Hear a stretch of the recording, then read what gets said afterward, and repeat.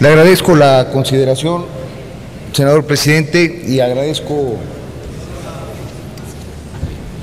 y agradezco el llamado a centrar en hechos y precisiones este debate que amerita el país y que con mucho respeto y mucha responsabilidad trataré de abonar y de no desentonar en términos de respeto y en términos de firmeza. Lo primero que hay que señalar aquí con respecto a las aseveraciones escuchadas al artículo tercero transitorio de la ley en mención es que este artículo no señala, ni obliga, ni ordena a cambiar el contrato colectivo de trabajo de los trabajadores de petróleos mexicanos. Quienes vengan a sostener esto en contrario están faltando a la realidad. No cancela las contistas laborales, no afecta los derechos contractuales y hay una puntual disposición del grupo parlamentario del PRI para hacer valer lo mandatado por la Constitución Política en su artículo 123 constitucional. ¿Qué es lo que abre este transitorio a debate, señoras senadoras y señores senadores? La posibilidad y la opción de hacer compatible dos problemas públicos fundamentales de cara a la nueva empresa que constituimos con estas reformas. Y es la de hacer compatible una enorme debilidad financiera que se ha perpetuado y repetido en los esquemas de jubilaciones y de pensiones solidarios, con un trabajo que requiere de mucha especialización, que está expuesto a mucha presión, que implica un estrés personal de cada uno de los trabajadores y que requiere de una especialización puntual. El tema serio a discutir en este tema, valga la redundancia, es precisamente cómo hacemos esto compatible.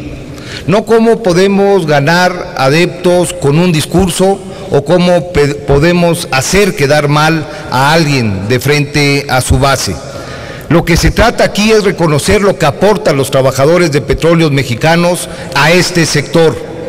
Mexicanos que exponen su vida, que están frente a riesgo permanente, que tienen que soportar condiciones de mucho estrés, de lejanía, y que deben ver esas circunstancias materializadas en su contrato de trabajo. Pero un sistema de pensiones tal y como está funcionando hace imposible su manejo. Y en este sentido coincidimos que es una proyección actuarial la carga que viene trayendo esta empresa pública de manera sustancial. Es una carga que hay que aliviar si que la queremos ver en términos competitivos, si la queremos ver florecer, pero de manera circunstancial amerita una reflexión, senadores. Por un lado, se dice que es un tema a futuro y abstracto.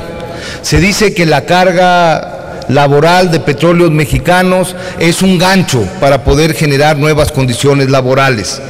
Y por otro lado, se dice que es el botín de ciertas acciones de corrupción. ¿Dónde está la compatibilidad. Por un lado se dice que es algo abstracto, pero por otro lado es algo concreto como bolsa para poder financiar acciones electorales. Es total y completamente inmanejable este tipo de discrepancias en un mismo discurso. Lo relevante, lo que, nosotros venimos a reiterar una y otra vez es que lo dispuesto en esta ley no afecta los derechos laborales de los trabajadores, que reconocemos la aportación de los trabajadores en este sector como su principal posibilidad y de manera significativa y fundamental que estamos consolidados y estamos decididos con toda fortaleza a acompañar a los trabajadores en el mejor escenario de sus circunstancias, con sus liderazgos, con las organizaciones que dignamente los representan en estos nuevos desafíos que abre el sector. Por su atención, muchísimas gracias.